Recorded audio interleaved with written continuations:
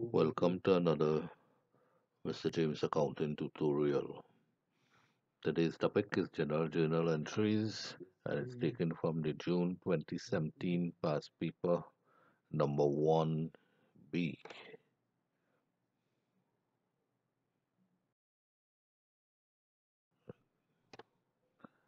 Okay, part B.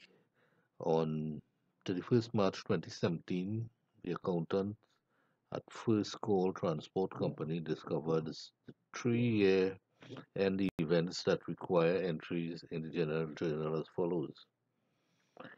And we uh, to prepare the entries in General Journal to show how these events affects the income statement at the end of the accounting year of First Call Transport Company.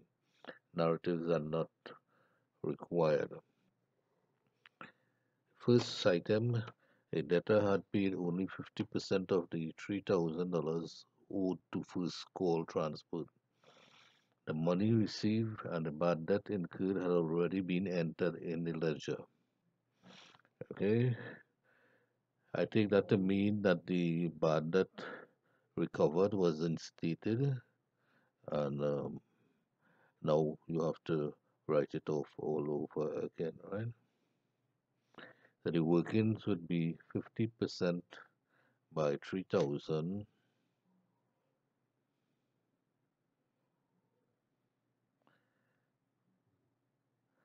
percent by 3000 equal 15000 and then when we get the 15000 we will enter it in the general journal here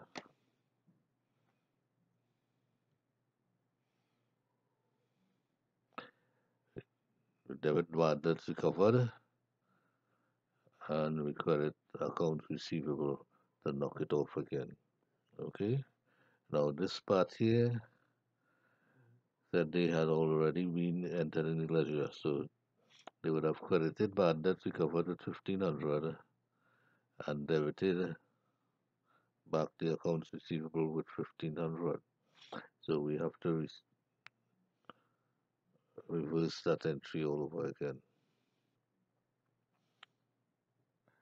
The next item the company is to provide for bad debts at a rate of 2% of accounts receivable of 43,600 then the workings 2% of 43,600 is equal to 872 and then we come to the general journal and we write it in we debit profit and loss account with 872 and we credit provision for bad debts 872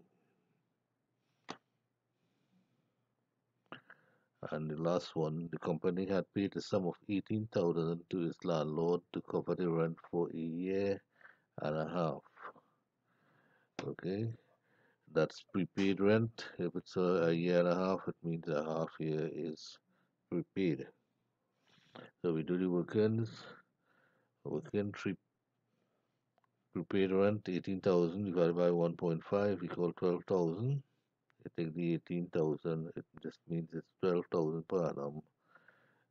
Take the 18,000 minus 12,000 we get 6,000 prepaid and we enter it in the books. Prepaid rent 6000 and we take it out of the rent expense of 6000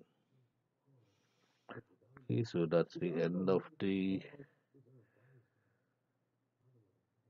presentation. I hope you find it helpful